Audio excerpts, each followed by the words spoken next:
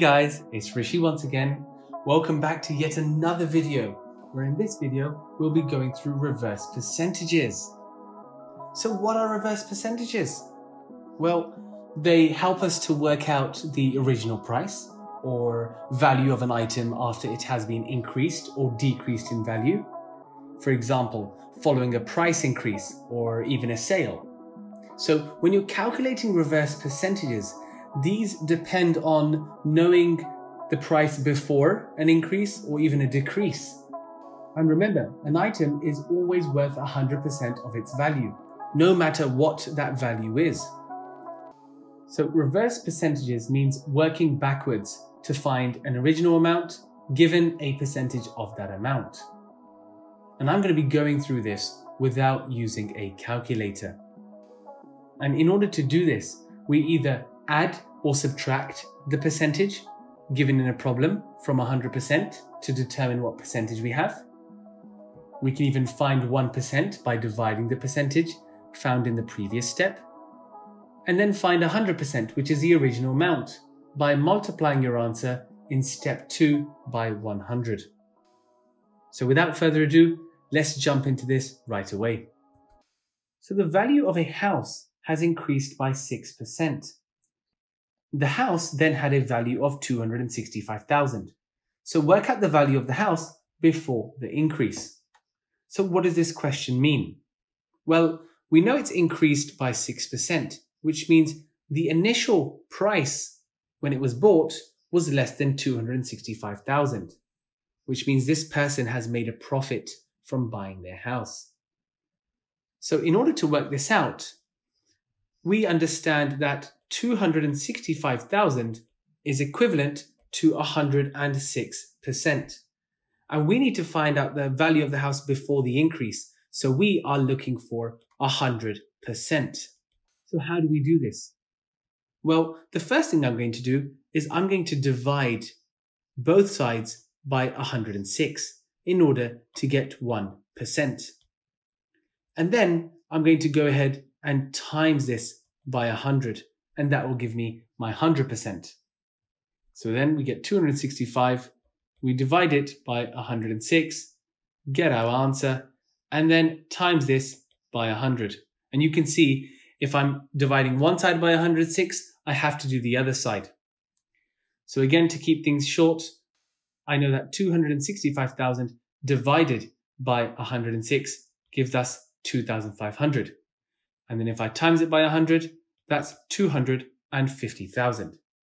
So now I know that the value of the house before the increase is 250,000. But there's also another method that we can choose. And that is by simply multiplying our x, which is seen as now you know the 250,000, multiplied by 1.06. And that's just a conversion between the percentage here into a decimal. And that would equal 265,000. And then we need to make x the subject. So as this is a multiplied, we're going to take it over to the other side and that will become a divided by 1.06, which means we'll have x equals 265,000 divided by 1.06. And if we calculate that with a calculator, we would get 250,000. So again, as I've shown you in my previous video, you can either go with method A or method B. It's entirely up to you. You will still get the same answer. Wonderful. Let's go for question number two here. In a sale, the normal price of a book is reduced by 20%. So again, if it was 100%, it's now reduced by 20%, which gives us 80% and the sale price of the book is £4.80. So we now know 80% is equal to £4.80. So we need to work out the normal price. So again, we've lost that 20%. We need to calculate that 20% and add it back on. So if I take a look at my method B here, where I simply made X the subject and calculated it, I can do the same thing here as well. So what am I going to do? I'm going to get my 100% value and I'm going to multiply it by 0.8, which is the decimal conversion for 80%. and that would give me £4.80. And then I'm going to make x the subject. So I'm going to divide both sides by 0.8, and that will leave me with x equals 4.8 divided by 0.8. So again, how do I do this without a calculator? So I can simply eliminate the decimals. So I'm left with 48 divided by 8, and that gives me 6. So now I know that the price of the book was £6 before it went on sale. And a way for me to check this is by simply working out 20% of £6. So I know that 10% is seen as 60 pence. So 20% will be £1.20. So if I now take £6 and subtract £1.20, this should give me £4.80, which is the price that we had initially of 80%. So that's another way we could check if our answer is correct. Again, I hope this was useful. Don't forget to pause the video, attempt the question, and then press play when you're ready to go. I'm going to follow the same method as I go through this document here. So keep up the work and let's move on. The value of a litre of petrol increased by 8%. And a litre of petrol then cost £1.62. So let's work out the price of a litre of petrol before the increase. So again, we don't know what the price of petrol was before the increase, so I'll label this as X. We know it's increased by 8%, so it started off with 100%, it then increased by 8%, so now we have 108%. But I'm going to convert this into a decimal, so it's going to be 1.08. So I'll multiply this out by 1.08 which will then give me £1.62. And I will then make x the subject. So we'll divide both sides by 1.8. And so we'll have x equals 1.62 divided by 1.08. So then again, you can have 162 divided by 108. And we know it goes in once. If we have 108 here and we subtract this out, we're going to have 54 remaining. But we know 108 doesn't go into 54, but it does go into 545 times. So that means our answer is going to be £1 50 pence. So the price of the litre before the increase was £1 50. So again, step one, x multiplied by your percentage increase equaling the value, and then you make x the subject and you'll get your answer. And that's two marks in the bag. Amazing. Let's go for question four now. So in a sale, normal prices are reduced by 25% and the normal price of the coat is reduced by 12 pounds. So reduced by 25% and reduced by 12 pounds. So that's giving us a hint there. We now know that 12 pounds equals 25%. So how do we work out the normal price? Remember here, the normal price is worth 100%. So what do we times from 25 to get to 100? Well, we know it's 4. So if we times one side by 4, we times the second side by 4. And 12 times 4 gives us 48. So we now know the normal price of the coat was 48 pounds. That was a nice and easy question. Let's go for question 5.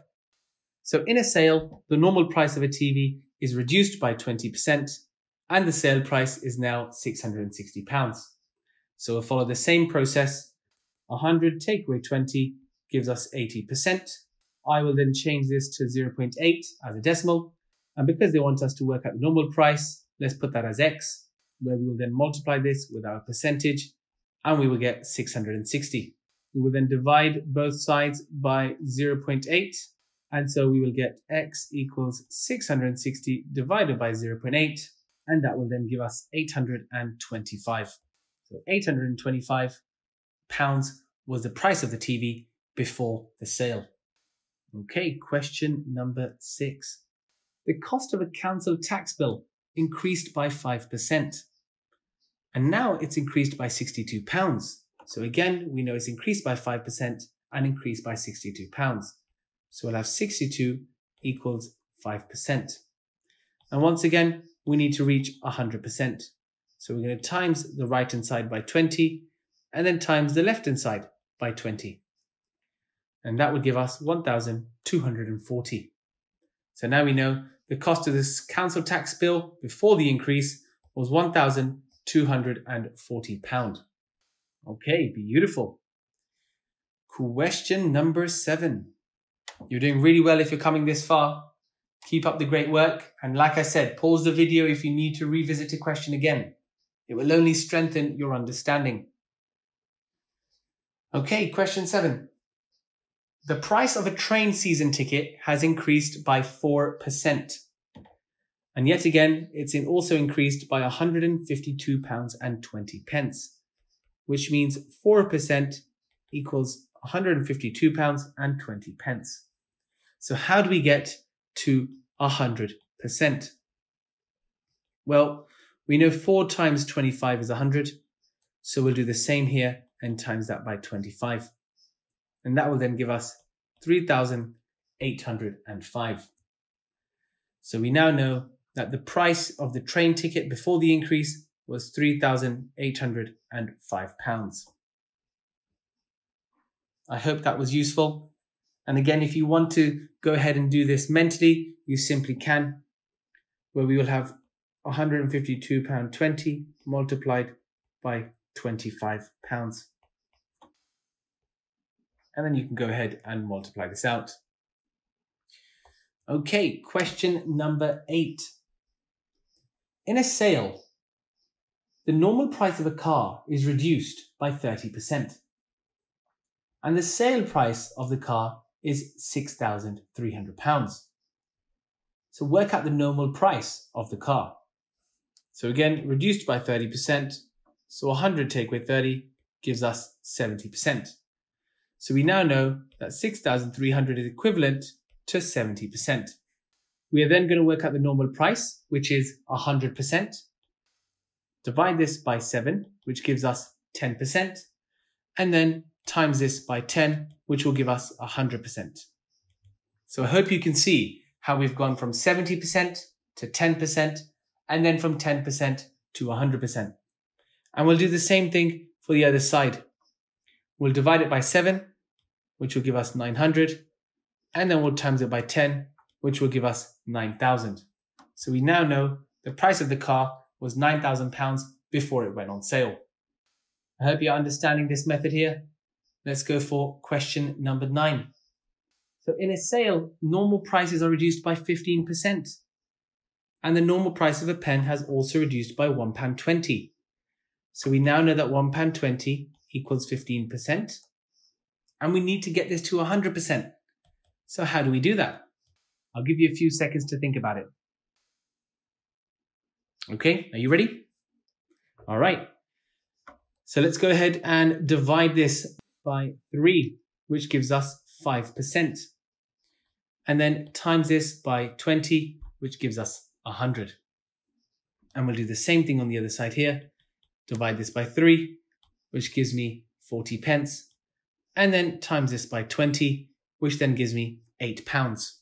So now I know that the normal price of the pen was 8 pounds. I hope that was clear. Let's now move over into the next question. Question number 10. So Patrick invested money into a special savers bank account. And each year, money in the account earns 4%. So after one year, the total amount of money in the account was £291.20. pence. So how much did Patrick invest? Hmm, so let's take a look here. He's earned 4%. So he started off with 100%, he earned 4, so in total, he's coming home with 104%. And that's now worth £291 and 20 pence. So let's write that out. And we now need to work out the value of 100%. So what I'm going to do is simply divide both sides by 104. And that's going to leave me with 1%, which will be 2.8. And then I will times both by 100 so I can get the original price here. And if I do that, I'll get 280, which means Patrick invested 280 pounds. So once again, I followed the same step as we took previously. And just to remind you here, a calculator is allowed for this particular question. So you can go ahead and simply put £291.20 divided by 104 in the calculator to get 2.8. But for those who want to challenge themselves, feel free to calculate this using your bus stop method. Wonderful. Okay, we're almost at the end of this, so let's keep going. So, Ottawa is the capital city of Canada, and the population is 890,000. And this population is 2.5% of the total population, which means 2.5% is equivalent to 890,000. So once again, what am I going to do? I'm going to calculate 1% and then calculate 100%. So divide both sides by 2.5 and then times by 100. So again, 890,000 divided by 2.5 is 356,000. And then I'll times it by 100 and that again will be 35,600,000. That's 35 million 600,000. Again, that was an error there.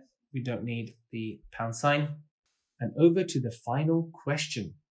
So a lamp is on sale for 22 pounds and 5 pence. And this is a 10% reduction. So if we start off by 100 and we take away 10, it's 90%.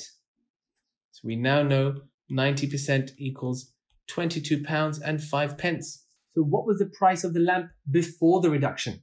So once again, what do I need to do? I can divide both sides by 90 to get 1%. And that will then give us 0.245 before again timesing this by 100, which will give us 24 pounds and 50 pence. So we now know the total price of the lamp before the 10% reduction was 24 pounds and 50 pence. But let's take this one step further before we finish off today. Let's check the inverse way to see if this is correct. So I'm starting off with 24 pounds 50 pence, and I'm going to work out 10% of this, which I know is two pounds 45. I'm then going to go ahead and subtract two pound 45 from 24 pounds 50 pence. So we know we can't do 0 take away 5, so I'll borrow from the 5. We'll do 10 take away 5 is 5, and 4 take away 4 is 0, and then 4 take away 2 is 2, and 2 remains there. So we now know indeed, after a 10% reduction, the lamp was on sale at £22 and 5 pence. So that was correct. But hey, that brings us to the end of our session there. And once again, to practice these questions, feel free and check through each one individually to see if you're getting the same number that we started with. You've come really far by attempting all of these questions.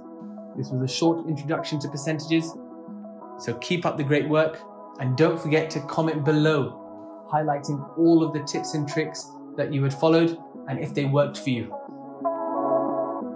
Don't forget to share and subscribe our video and watch out for more content.